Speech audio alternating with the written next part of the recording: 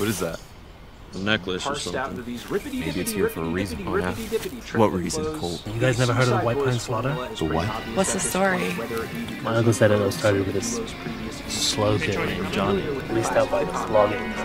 Yeah. And everything was way more remote back then. So they would set up shops and sell shit like razors and soap to the loggers. But they would jack up the prices Johnny's dad was the guy that ran these stores.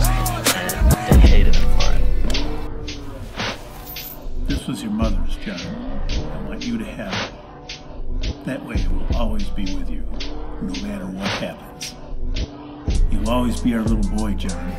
They used to take out their anger all came to a one day running the loggers, tripped and broke his ankle on one of Johnny's. Really Johnny.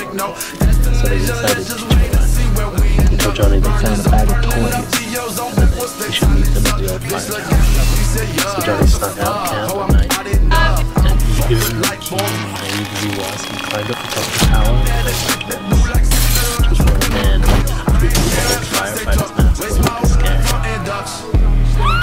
Johnny fell from the tower. His neck snapped as soon as it hit the ground. But when Johnny's dad found the body a day later, he he knew those guys had something to do with it. So he confronted them in the mess hall and a fight broke out. And dust settled, Johnny's dad. The guy that killed him. The company had issues, made sure charges. A couple of the execs the company shut up sued it.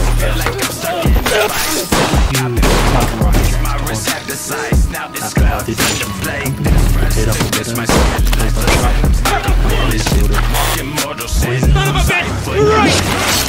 And they said a bunch of animals got in the bodies. One of the policemen said he saw a guy watching in the woods with a mask. Did it. Some say it's. Some say was Johnny's spiritual revenge. Some But simultaneously, there are spots on this album where the lyrics can come off a bit too edgy or try hard or basic, maybe even juvenile.